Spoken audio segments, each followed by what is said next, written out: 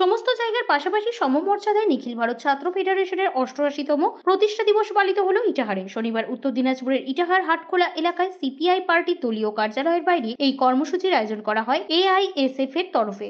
এদিন সংগঠনের দলীয় পতাকা উত্তোলন ও শহীদ বেদিতে পুষ্পার্ঘ্য নিবেদনের মধ্য দিয়ে নিখিল ভারত ছাত্র ফেডারেশনের অষ্টআশিতম প্রতিষ্ঠা দিবস কর্মসূচির সূচনা করেন সংগঠনের জেলা সম্পাদক মোহাম্মদ আসাদুল্লাহ। এছাড়াও উপস্থিত ছিলেন সিপিআই নেতৃত্ব মাইনুল হক, সন্দীপ ঝা, আকবর আলী, অমল রাজভর হামিদুর রহমান এআইএসএফ এর সদস্য সাত্তার আলী, তাসাপুর হক সহ অন্যান্যরা। পতাকা উত্তোলন ও শহীদ বেদিতে পুষ্পার্ঘ্য নিবেদনের পাশাপাশি দিনটির তাৎপর্য নিয়ে আলোচনা করেন উপস্থিত নেতৃত্ব।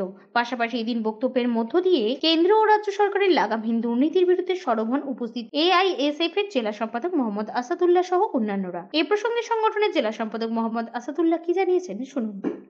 এআইএসএফ এর অষ্টাশিতম প্রতিষ্ঠা দিবস।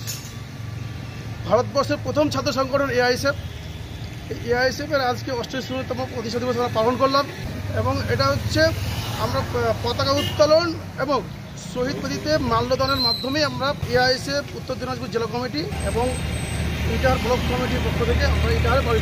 প্রতিষ্ঠা দিবসের মাধ্যমে এটা বলতে চাই, এটা বার্তা দিতে চাই যে গোটা ভারতবর্ষের এবং পশ্চিমবঙ্গে যে হারে চলছে, কেন্দ্র সরকার এবং রাজ্য সরকার, এদিকে মণিপুর থেকে শুরু করে নিয়ে মালদাতে যেভাবে মানে একটা- সমাজের মানুষকে উলঙ্গ করে যেভাবে তারা অত্যাচার শুরু করল এবং দেখলাম যে একুশ জুলাইতে সেখানে আজানকে নিয়ে তারা কত রকম কটাক্ষ করল। তো বিভিন্ন রকম নিয়ে। যেভাবে রাজ্য কেন্দ্র চালাচ্ছে বর্তমান আমাদের দেশটা, আমরা চাই অবিলম্বে এই দুই সরকারের পতন চাই।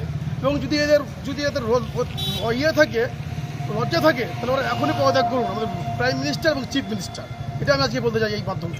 উত্তর দিনাজপুরের ইটাহার থেকে নিজস্ব প্রতিনিধির রিপোর্ট, টাইমস ফোরটিন বাংলা।